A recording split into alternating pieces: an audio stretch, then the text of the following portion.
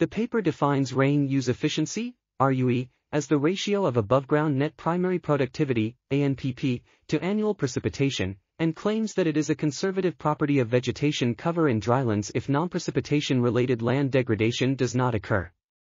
RUE can be used to normalize ANPP for the impact of annual precipitation and as an indicator of non-precipitation-related land degradation.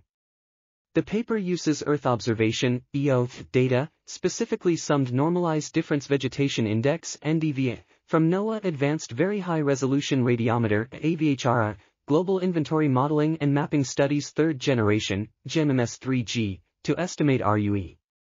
However, the results show that RUE is not useful as a means of normalizing for the impact of annual precipitation on ANPP because it is highly correlated with precipitation. The paper suggests replacing sigma NDVI with a small NDVI integral, covering only the rainy season and counting only the increase of NDVI relative to some reference level, which solves the problem. Using this approach, RUE is calculated for the period 1982 to 2010.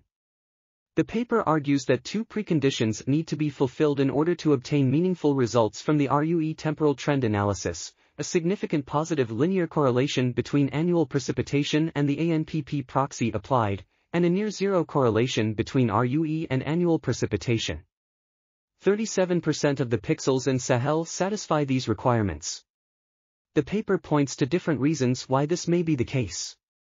This article was authored by L. Swinnen, Stephanie Horion, Per Kaspersen, and others.